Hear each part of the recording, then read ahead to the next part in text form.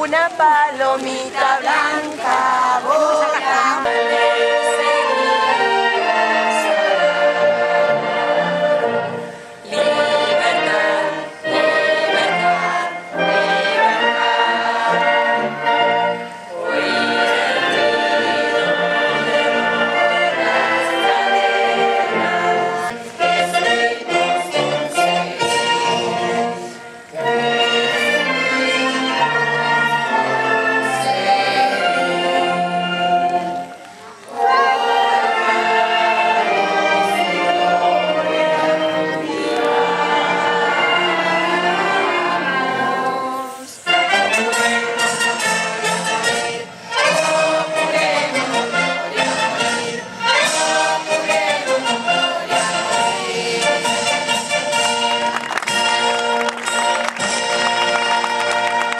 Quiso merecer la aprobación de su conciencia.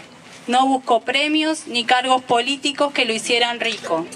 Un hombre que nació con nuestra patria, un ciudadano ilustre, el más civil de los militares y el más virtuoso de los civiles. Tenía un solo objetivo y lo expresaba claramente en todas sus acciones, ver a su patria libre de miserias. Para Belgrano, fomentar la educación era un derecho humano y un deber de la sociedad.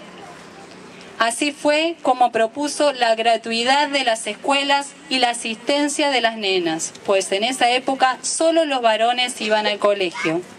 Podríamos seguir enumerando pensamientos y acciones de nuestro prócer. Hoy recordamos su máxima creación, nuestra bandera, un símbolo que llevaba en su alma y que inspira amor a la patria. La creó sin caracteres bélicos, sin jactancias tiránicas, sin rencores ni odios, ni ambiciones de predominio.